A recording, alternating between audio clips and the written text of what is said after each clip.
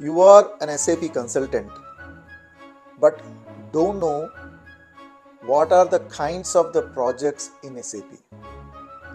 And of course, in every interview, the primary questions asked is on the types of the projects. What Hi everybody, this is MVK. I have 25 years of experience, worked around 15 countries, managed and also recruited thousands of resources. Currently, I'm working as a director in one of the big four companies in Dubai.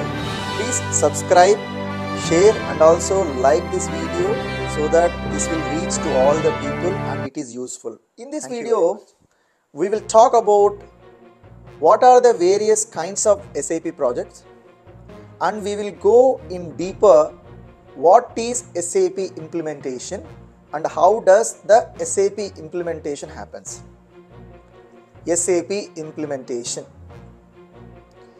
What do you mean by SAP implementation?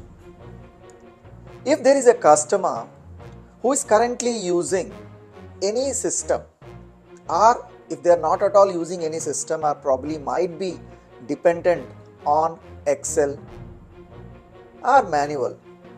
In such case, if the company grows, ideally they would like to go ahead and get one of the software in the market and get it implemented in their organization.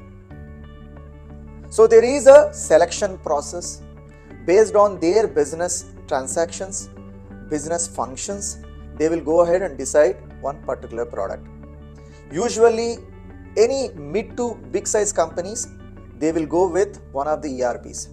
Nobody want to invent a new product, invest on building a product and use it. Usually they will go for a ready made product. And obviously SAP can be one of the right fit for the ERP.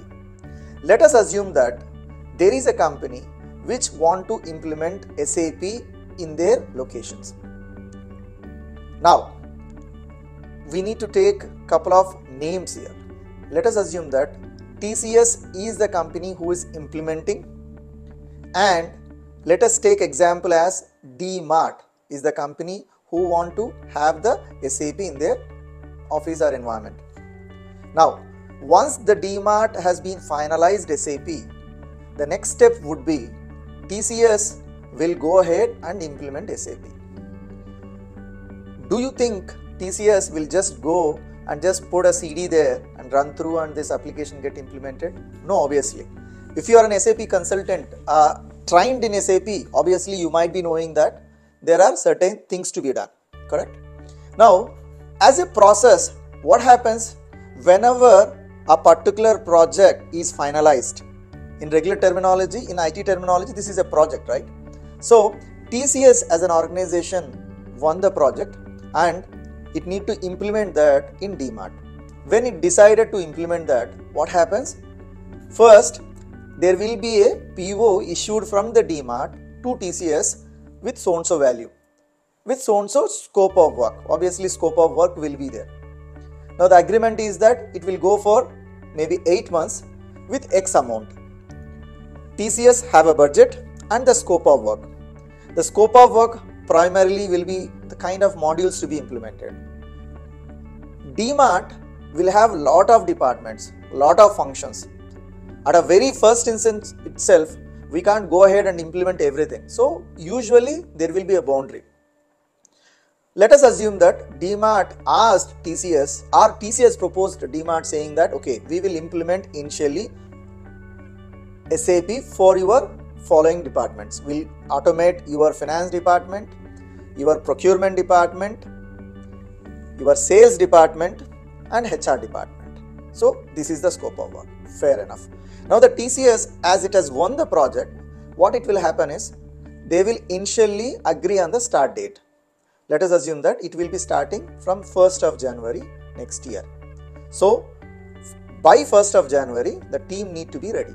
So TCS will set up certain resources for this project. Obviously for any project there should be a project manager. There will be functional consultants. In this case hence there are four modules. You will be having one FICO consultant, one MM consultant because you are talking about procurement and one HR consultant, SAP HR consultant and also you will have SD consultant because you have sales and distribution. So there are four members and the product has been finalized and they will start from the 1st January. The project usually can be executed on site or offshore. When you say on site, the entire team will go and sit at the customer location and execute. Offshore means the team will sit in the TCS office and execute. Usually implementations, majority of them will be on site. There will be a little bit of offshore in between where you will come back, but it will be majority on site. Now let us get into a detailing session. The implementation of any SAP project will go in five phases, which is called as Activate methodology. SAP Activate methodology. So the SAP Activate methodology will have five phases. Number one, prepare phase, explore phase, realize phase, deploy phase, and finally run phase. These are the phases in which the product is getting implemented.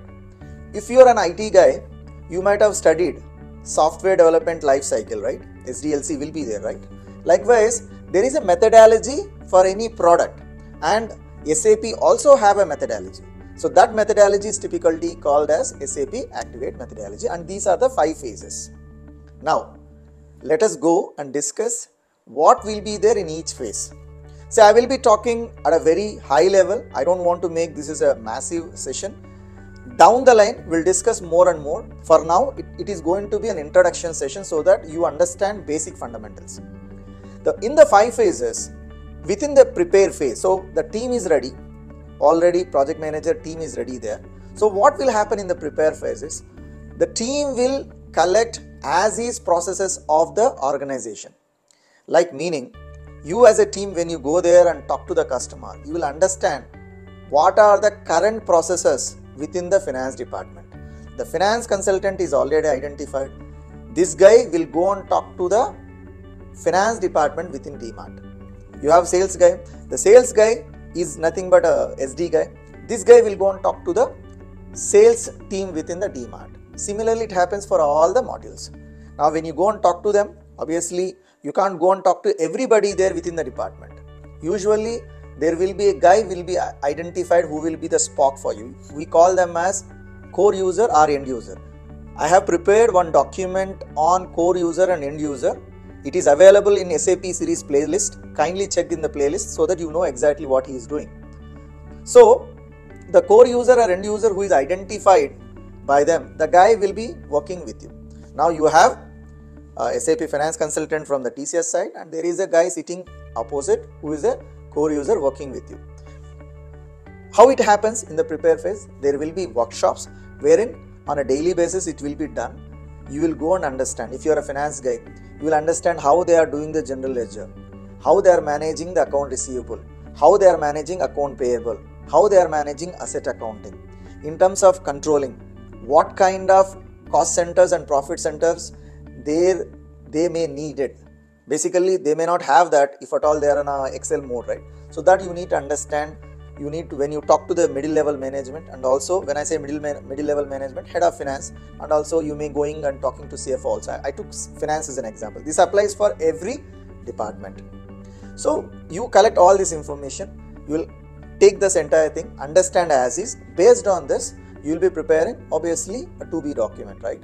So there is a contradiction in the industry. Somebody prepare blueprint somebody will not prepare somebody prepare something called sdd solution design document that depends on the organization to organization. Let us assume that you are preparing. So when you prepare a blueprint document, you will be preparing a to be, like what kind of to be scenarios will be there.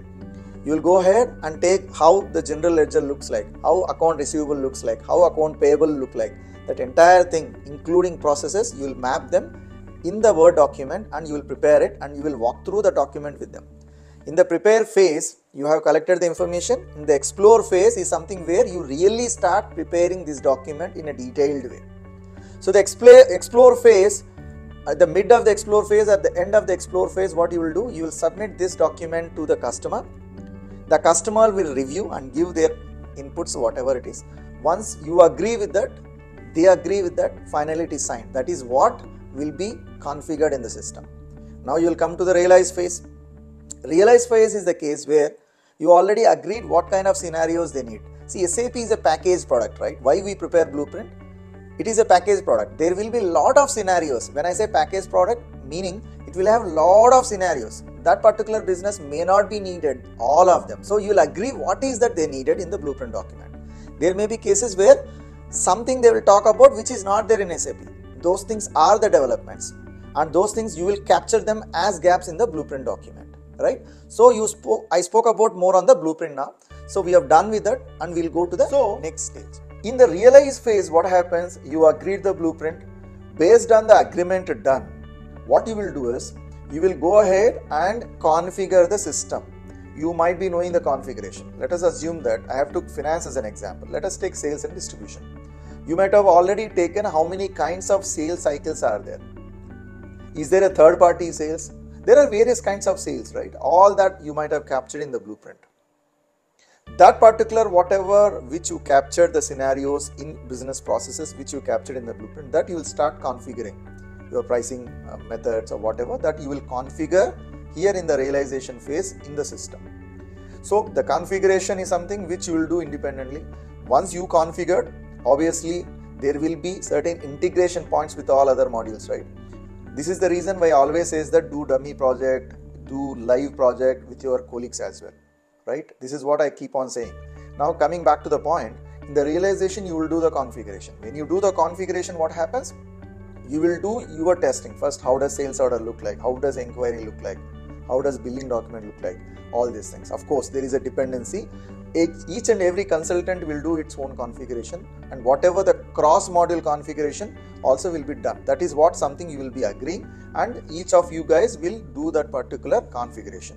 Once the configuration is done you will do your own testing. Typically we call them as unit testing. Then testing is done then all of you will go ahead and do the rest of the kinds of the testings. Okay? There is various kinds of testings which will be done all these textings are done which when the cycle is running perfectly fine your inquiry is getting generated your properly sales order is getting generated and billing is happening outbound delivery is i mean happening so the entire cycle is running then it is fine. Then you will call the customer and you will ask them to test. When you call your customer and ask them to test it is a it is a lengthy process. The way which i am saying it looks like very simple but there are a lot of activities to be done in detail. So the project manager will support you on this and he will make sure this has been executed.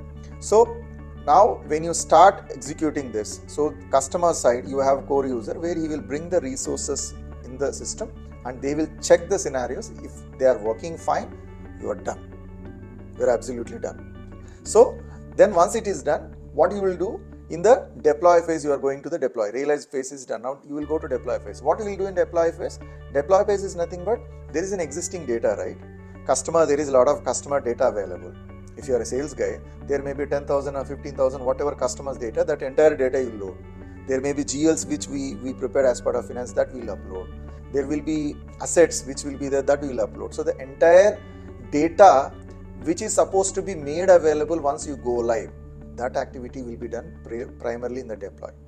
So you take the entire data, that entire data you will upload in the deploy phase. There is various methodologies how you upload and uh, what kind of tools you use all that stuff will be there. So you are uploading the entire data in the deploy phase. Simultaneously you are talking to only person. One person or few people few few people within the department. Core user or key end users right? But there are there may be every department at the end of the day there may be 10 or 15 or 20 or 100 people or 200 people will be using sap those people need to be trained right? The training also happens in the deploy phase so one on one hand deploy training has happened. On one hand data is getting uploaded. And finally the production system. The basis guy whom i have given uh, a, a comprehensive detailing in a separate video. That guy will come into the picture here. He will get the system ready because the users who are coming and using this they also need to have that access right? That entire thing he will set. So all these things are done. Everything is working fine. So data got uploaded training is done system is ready. Of course system starts first then the rest of the things happens. System is ready with all the security then system is ready. Then we'll say officially yes this is go live. I started my project in the on first jan and i will say that okay i'm uh, i'm going live on 1st of september. 1st of september officially we'll give system to them. Then after this run. What is run? Run is nothing but support because once the system has given to them obviously what happens there will be issues coming in. People might be doing errors. There may be some bugs. All those things. Sometimes support can be done one month three months. It depends on the project to project. So once the run is done all the issues are fixed. Or whatever or maybe small mix uh, issues are there they will fix and whatever handover is done then your project is done. So this is the typically an sap implementation. This is how sap implementation happens. Okay hope this is useful for you i'm i'm a bit fast in explaining this but you know given the timing i don't want to spend a lot of time on this so i just made it very quick and crisp explanation go through each and every point which i mentioned and probably down the line I will prepare a, a, big doc, a big uh, documentary or a video wherein we will see each and every phase details in a detailed way for probably we'll, we'll see based on my time availability. All the best guys and if you like this kindly share with your friends who are working or want to join SAP.